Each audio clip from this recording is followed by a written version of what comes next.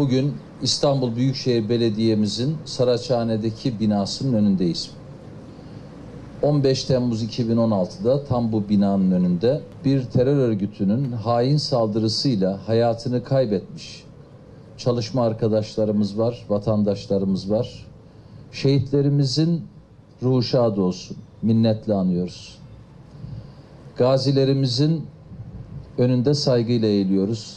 Allah sağlık ve şifalarını versin. Sadece burada değil, ülkemizin dört bir yanında bu hain saldırıya karşı sahaya inen vatandaşlarımız buna tepki göstermiş ve tepki gösterirken mücadele ve müdahale etmiş. Ama ne yazık ki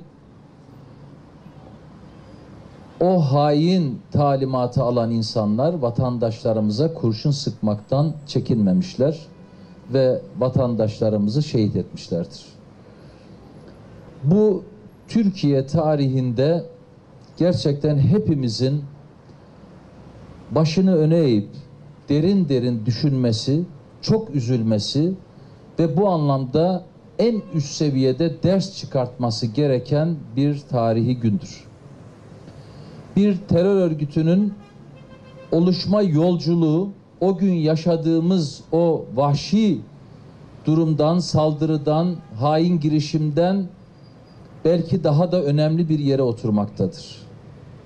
Bu yolculuk nasıl gelişmiştir? Bu saha onlara nasıl verilmiştir? Onlarca yıl devletin içerisinde konumlanırken veya gelişirken bu nasıl görmezden gelinmiştir? Devletten daha güçlü bir yapı, devletten daha etkin bir yapı olması mümkün müdür? Değerli dostlar, kıymetli vatandaşlarımız, kıymetli hemşerilerimiz, esas olan devlettir. Esas olan millettir. Ulu Önder Mustafa Kemal Atatürk'ün egemenlik kayıtsız şartsız milletindir cümlesinin yüzyıllar geçmese de gücünden zerre kaybetmeyecek bir miras olduğunu düşünüyorum. Aslında 15 Temmuz'un da bize yaşattığı en kıymetli duygunun işte o egemenlik kayıtsız şartsız milletindir duygusunun en derinden hissedilmesidir.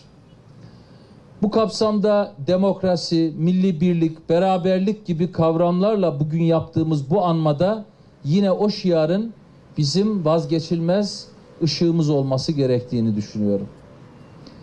Zira bu tehdit ve bu tehlike sadece bir terör örgütü üzerinden konuşulması da yanlıştır. Halen bu tehdit ve tehlike vardır, yarınlarda var olacaktır.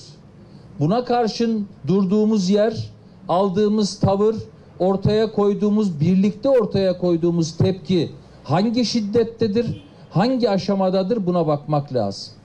Onun için kişiler, partiler ya da bir kısım isimlerle insanlarımızın, milletimizin manevi değerleri üzerinden açıkçası insanlarımızı kullanarak hem de çocuk yaşta alıp farklı niyetlerle, farklı zihniyetlerle içlerini doldurarak devletine ve milletine karşı ayrımcı bir biçimde davranmasını sağlayan bütün kanalların ortadan kaldırılması için nasıl bir mücadele ortaya koyduğumuz bugün en değerli konulardan biri haline gelmiştir. Demokrasinin ne kadar kıymetli olduğu, iradenin millete ait olması için demokrasi kanallarının ne kadar güçlenmesi gerektiği, bugün oturup bir masada düşünmemiz ve geliştirmemiz gereken hususlardır. Hak, hukuk, adalet kimliğinin her kuruma, özellikle hukuk sistemine mutlaka yerleştirilmesi, özellikle hukuk sistemine kişilerin, partilerin ya da bu tarz oluşacak, oluşma ihtimali muhtemel bir kısım oluşumların ya da cemaat vesaire gibi tanımlamaların asla ve asla müdahale edemeyecekleri bir süreci, bir sistemi bu millete, bu memlekete armağan edilmesi her kişinin, her kurumun sorumluluğu altındadır.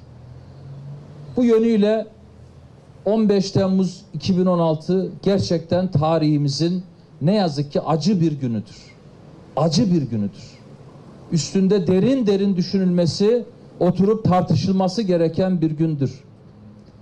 Dahili ve harici her zaman bu tür müdahaleler mümkündür deyip ama özellikle süreçler dahili diye kavramın içerisine oturduğunda yani milletin kendi içinde bir düşmanlaştırma sistemi bir gelişimi oluşturulduğunda bu gerçekten daha fazla can yakmaktadır. Bu bakımdan milletimizin büyük bir ders çıkarttığını, kurumlarımızın büyük bir ders çıkarttığını düşünüyor ve umut ediyorum. Tekrar 15 Temmuz hain girişimini sağlayan bütün unsurları, kişileri, kurumları kınıyorum, lanetliyorum. Hayatını kaybeden şehitlerimizi rahmetle, minnetle anıyor, ruhları şad olsun diyorum. Gazilerimize sağlık diliyorum, önlerinde saygıyla eğiliyorum. Hepinizi saygıyla selamlıyorum. Bundan 5 yıl kadar önce hain bir darbe girişimiyle karşı karşıya kalmıştık. Ve milletimizin birlik beraberliği içinde bu hain darbe girişimi püskürtülmüştü. Elbette bunun bazı bedelleri de olmuştu. Kaybettiğimiz, şehit verdiğimiz insanlarımız ve gazilerimiz olmuştu. Hem onları anmak hem de bu yıl dönümünde yaşadığımız olayı yeniden değerlendirmek, bir muhasebesini yapmak, üzerinde düşünmek üzere bir aradayız. Şehitlerimize Allah'tan rahmet diliyorum. Birazdan mezarlıkta da kendilerini anacağız. Ziyaretlerimizi yapacağız. Gazilerimize tekrar geçmiş olsun diliyorum. Milletimiz onların bu ödedikleri bedeli unutmayacak. Onları her zaman başının üstünde tutacak. Tabii 15 Temmuz sevinçle anılacak bir gün değil, acıyla anılacak bir gün bence. Bir yanı bu kadar şehit vermiş, gazi vermiş olmamızsa bir başka yanı bu acının, bir başka yanı da şu bence. Bu hain darbe girişimini yapanlar bu ülkenin okullarından mezun oldu. Bunlar bulundukları kademelere bu ülkenin resmi kurumlarının onayıyla, bilgisiyle geldiler. Meclisimize, Cumhurbaşkanlığı sarayına, emniyet müdürlüklerine, belediye başkanlığına buraya saldıran insanlar ellerinde bu milletin satın alıp güvenerek ellerine teslim ettiği silahları kullandılar. Bunu görmek olayın üzerinden ne kadar süre geçerse geçsin çok acı bir şeydir. Biz bugünü Milli Birlik ve Beraberlik Günü olarak Milli Birlik ve Demokrasi Günü olarak ilan ettik.